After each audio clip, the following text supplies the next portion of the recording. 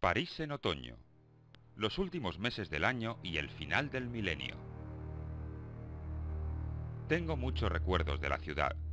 Los cafés, la música, el amor y la muerte.